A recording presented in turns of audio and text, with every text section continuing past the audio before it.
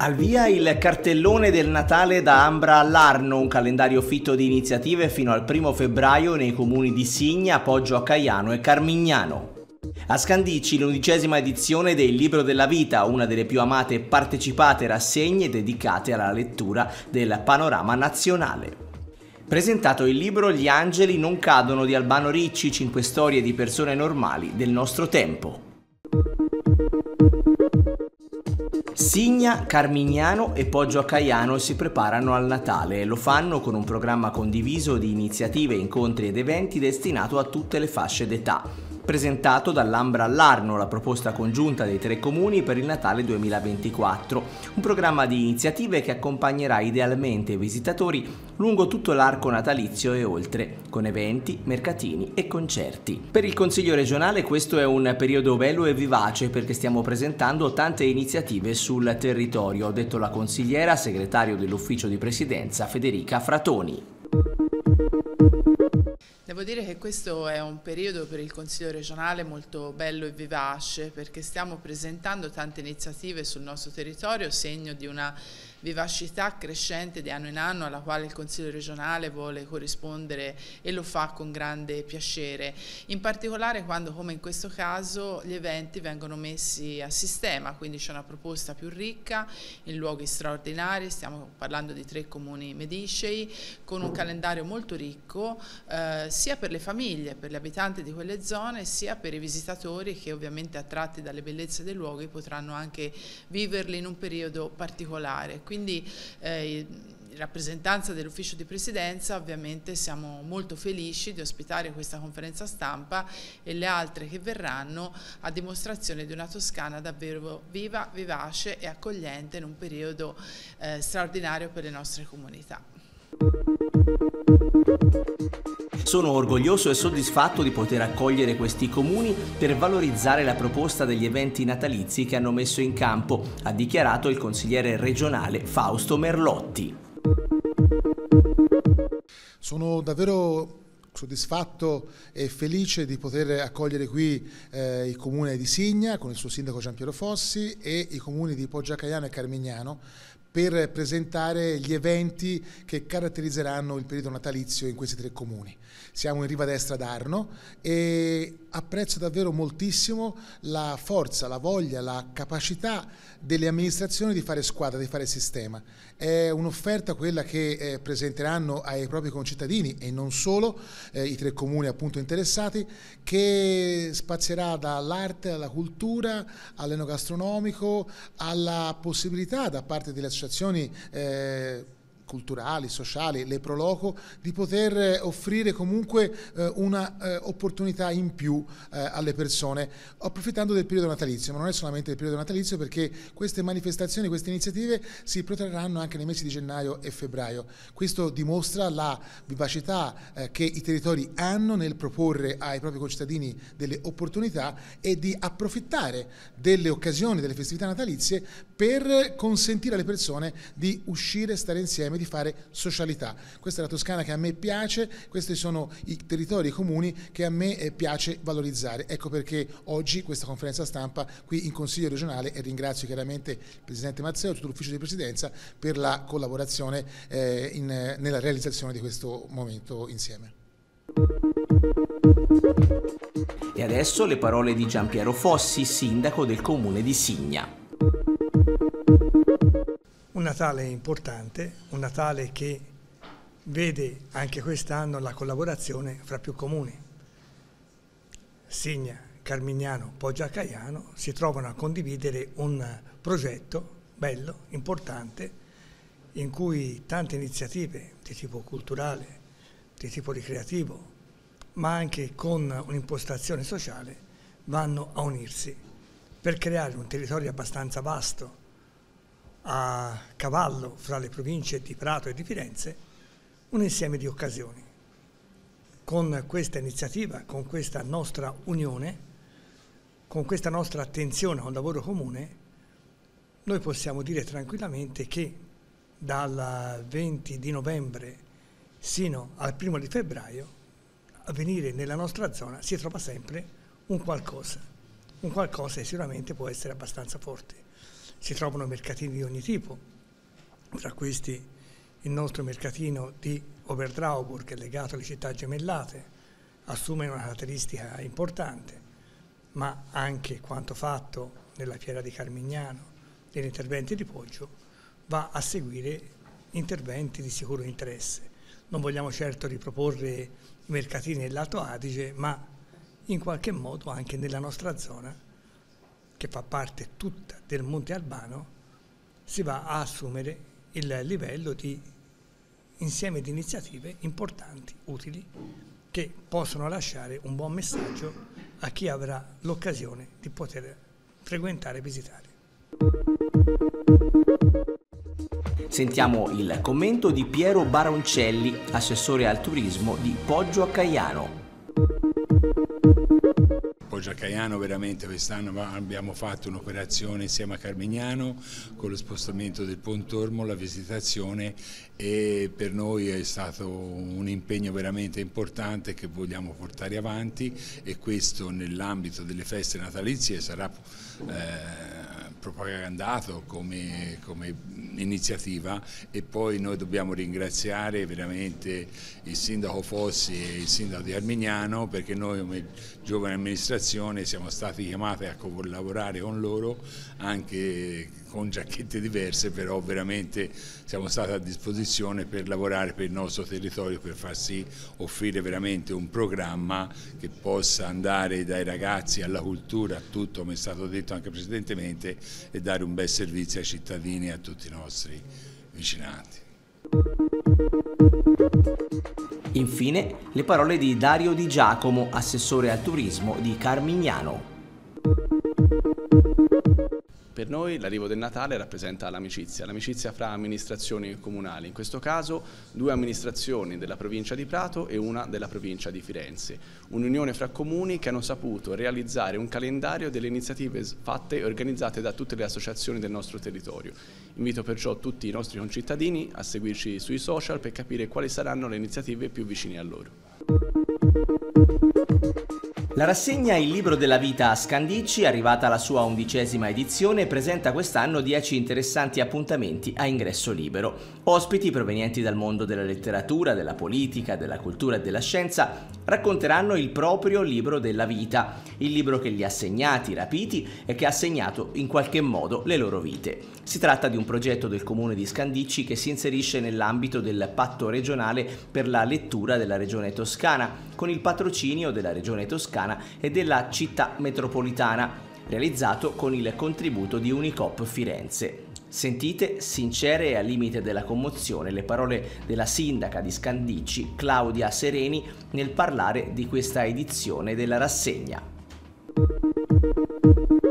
Partiamo oggi con la presentazione di questa undicesima edizione che però è anche la prima che io inauguro da sindaca, quindi mi piace pensare che sia l'inizio dei secondi dieci anni, che questo progetto che ha dato veramente tanto al territorio si appresta a, a ripartire e ripartire con un evento speciale. Noi abbiamo la fortuna a Scandicci di aver avuto questo personaggio nostro concittadino e sindaco onorario della nostra città città che è Sergio Staino, ripartiamo con un evento tutto dedicato a lui in virtù del fatto che il Club Tenco ha pubblicato eh, recentemente un numero della loro rivista storica dedicandola interamente a Sergio Staino. Il Canta Staino sarà l'occasione con dei grandi amici come Cooperlo, Paolo Endel e Sergio Sacchi, sarà l'occasione di ripercorrere eh, questa, la storia di, di Staino Zaino come uomo, come artista, nel suo essere eclettico, non ehm, percepire confini tra i vari linguaggi, dalla vignetta al libro, alla televisione, al cinema. Eh, domenica avremo modo di tracciare le linee a tutto tondo di questa grande personalità che ha dimostrato che eh, l'umanità, la generosità con la quale lui si è prestato al mondo della cultura è l'elemento vincente e insieme a questo anche come eh, il territorio territorio e la politica insieme hanno beneficiato veramente di un uomo che ha eh, sempre messo davanti ehm, l'unità e la, la collaborazione come elementi vincenti contro invece una tendenza a disgregare e a, disuna, a disunire come spesso purtroppo la contemporaneità ci ha dimostrato. Questa è una manifestazione caratterizzata da alcune cose che la rendono molto originale, ha detto il curatore Raffaele Palumbo. Il libro della vita è caratterizzato da alcune cose che lo rendono abbastanza originale, cioè prima di tutto la gratuità. Nessuno viene a vendere niente, c'è un oratore, un'oratrice che proviene dai mondi più diversi, dalla scienza, dalla letteratura, per parlare non di un proprio libro ma del libro di un altro, cioè far innamorare l'uditorio attraverso una fabulazione coinvolgente del libro che un po' gli ha cambiato la vita. Naturalmente è un gioco, non c'è un solo libro che ti cambia la vita o che ti comunque fornisce alla vita degli attrezzi importanti, però è un gioco per far innamorare l'uditorio di un libro che tu non stai vendendo perché non è il tuo libro e questo percorso fatto in questi dieci anni è una cosa che è stata apprezzata proprio per questo, perché insieme a questo forte spirito di gratuità c'è sempre stata la volontà, il desiderio di lavorare su una divulgazione alta, per cui abbiamo sempre avuto un pubblico estremamente eterogeneo proveniente da tutta la città metropolitana, ma nelle volte anche da altre regioni, con mestieri e professioni di provenienza le più diverse, per tenere insieme in maniera democratica una comunità intorno a questo tema della lettura, del libro, della gratuità, della cultura come collante per lo stare insieme. E adesso il commento da parte della consigliera regionale Federica Fratoni. Sì, siamo molto fieri di questa presentazione in Consiglio regionale di una rassegna che è ormai giunta all'undicesima edizione, quindi ha raggiunto anche una sua solidità eh, nel tempo e anche un apprezzamento crescente da quello che vedo. Eh, devo dire che questa rassegna si colloca perfettamente in quelli che sono i filoni fondamentali promossi dalla Regione Toscana, dal Consiglio regionale che ha messo in campo molte iniziative per, per promuovere la lettura e sostenerla, non ultima la nostra partecipazione al Salone del Libro di Torino. Quindi davvero accogliere eh, questa manifestazione è per noi motivo di grande orgoglio, eh, in più per la dedica speciale fatta a un grande intellettuale del nostro tempo come Sergio Staino che certamente in quanto a carisma, intelligenza, umanità, sensibilità è stato un grande dono per la nostra regione, quindi celebrarlo a un anno dalla scomparsa è sicuramente un motivo di commozione ma anche di felicità nel ricordarlo perché abbiamo avuto il piacere di conoscerlo e di viverlo. Quindi mi auguro che ovviamente sia una rassegna molto frequentata, già lo è, eh, un appuntamento fisso della domenica mattina e quindi io credo davvero, fra l'altro in un luogo straordinario come il centro Rogers che è, oggetto, è stato oggetto di una bellissima riqualificazione urbana, quindi ci sono tutti gli elementi per un'edizione di successo e quindi un grande bocca al lupo. Infine le parole del consigliere regionale Fausto Merlotti. Sono davvero contento, eh, felice di poter eh, essere qui in Consiglio regionale del Media Center Davide Sassoli per questa conferenza stampa che presenta l'undicesima edizione del Libro della Vita. È un'edizione particolare questa eh, perché è l'apertura ai primi 20 anni, quindi dall'undicesimo fino ad arrivare oltre, ma soprattutto è il ricordo appunto a un grande intellettuale, una grande personalità del eh, Novecento che è Sergio Staino. È una persona, Sergio Staino è stata una persona che ha voluto dire tanto per questa manifestazione, lui uh, usava definirla come la messa laica della letteratura. E effettivamente questo è stato, ma sono anche soddisfatto e contento di poter essere oggi qui insieme alla sindaca Claudia Sereni, perché eh, devo riconoscergli che in parte, forse una parte molto importante di questa iniziativa è anche merito suo, perché lei l'ha vista veramente nascere, crescere e svilupparsi. Eh, il libro della vita è magistralmente condotto, diretto da Raffaele Palumbo, che, come dire, eh, oltre a presentare gli ospiti, interloquisce con loro e,